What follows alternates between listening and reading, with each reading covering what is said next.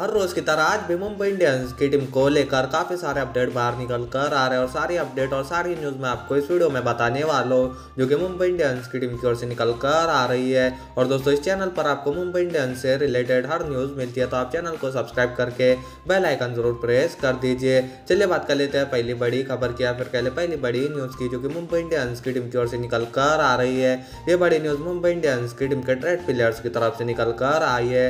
दरअसल दोस्तों, अभी आई हज़ार 2023 का मिनी ऑप्शन होने वाला है और मिनी ऑप्शन से पहले बीसीसीआई ने ट्रेड विंडो को ओपन कर दिया है और अभी तक आईपीएल की किसी भी फ्रेंचाइजी ने अभी तक कोई भी बड़ा ट्रेड नहीं किया, बड़ा क्या छोटा भी ट्रेड अभी तक किसी भी फ्रेंचाइजी ने नहीं किया है। लेकिन दोस्तों, हमें आने वाले कुछ दिनों के अंदर काफ़ी सारे ट्रेड होते हुए नज़र आने वाले और दोस्तों, मुंबई इंडियंस की टीम ने भी कंफर्म किया है कि टीम ट्रेड के ज़रिए काफ़ी सारे खिलाड़ियों को अपनी टीम में शामिल करने वाली है। और दोस्तों, सूत्रों के हवाले से खबर मिल रही है कि मुंबई इंडियंस की टीम डेविड मिलर जैसे एक हार्ड हिटर बल्लेबाज को भी अपनी टीम में शामिल कर करना चाहती है।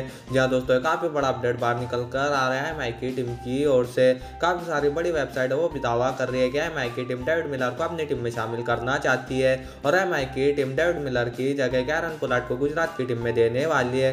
जहाँ दोस्तों, हालाँकि गुजरात की टीम ने कॉन्टेक्ट किया था एम की टीम से कैरन पोलाट की ट्रेड के लिए। गुजरात की टीम कैरन पोलाट को अपनी टीम में शामिल करना चाहती है। और उसके बदले में ऐसा हो सकता है कि मुंबई इंडियंस की टीम हमें डेविड मिलर को अपनी टीम में शामिल करते हुए नज़र आए। जहाँ दोस्तों, ये आने वाले कुछ दिनों के अंदर हमें काफ़ी बड़ा ट्रेड होते हुए देख सकता है। अगर ये ट्रेड होता है तो सबसे पहले आपको हमारे यूट्यूब चैनल पर पता चलने वाला ये ट्रेड हुआ या फिर नहीं तो आप चैनल को सब्सक्राइब करके बेल आइकन ज़रूर प्रेस कर दीजिए। वैसे आपको क्या लगता है मुंबई इंडियंस की टीम को डेविड मिलर को अपनी टीम में शामिल करना चाहिए या फिर कैरन पोलार्ड को अपनी टीम से बाहर कर देना चाहिए? तो आप अपनी राय कमेंट बॉक्स में कमेंट करके ज़रूर बताना। चलिए बात कर लेते हैं दूसरी बड़ी खबर की। या फिर कर ले दूसरी बड़ी न्यूज़ की। ये बड़ी न्यूज़ मुंबई इंडियंस की टीम के कप्तान रोहित शर्मा की तरफ़ से निकल कर आ रही दरअसल रोहित शर्मा आईपीएल के सबसे सफल कप्तान है। और एशिया कप में भी रोहित शर्मा के नाम कुछ ऐसा रिकॉर्ड रहा है। जहाँ दोस्तों मैं रिकॉर्ड के बारे में आपको बता देता हूँ रोहित शर्मा के। दरअसल रोहित शर्मा ने भारत की कप्तानी पाँच मुकाबलों में किया एशिया कप के अंदर। और पाँचवें मुकाबलों में कप्तानी करते हुए रोहित शर्मा ने एक भी मैच नहीं हरवाया है टीम इंडिया को।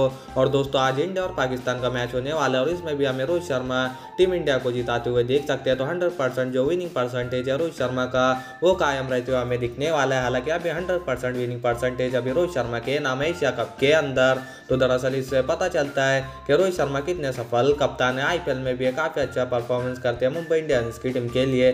बल्ले से भी और ये कप्तानी भी अच्छी कर लेते हैं मुंबई इंडियंस की टीम की। रोहित शर्मा के नाम एशिया कप में भी काफ़ी सारे बड़े रिकॉर्ड्स है। तो रोहित शर्मा का हमें विनिंग परसेंटेज कायम रहते हुए दिख सकता है। वैसे दरअसल दोस्तों, आपको क्या लगता है इंडिया पाकिस्तान के बीच में कौन जीतने वाला है? तो आप अपने कमेंट बॉक्स में कमेंट कर ज़रूर बताना। और हमें आज शाम साढ़े सात बजे से मुकाबला शुरू होते हुए दिखने वाला है। तो बस ये वीडियो यहीं तक थी और काफ़ी सारे अपडेट निकल कर आ रहे थे मुंबई इंडियंस की टीम की ओर से। तो बस ये वीडियो यहीं तक थी और अगर ये वीडियो पसंद आए तो वीडियो कर लाइक और चैनल को ज़रूर करें सब्सक्राइब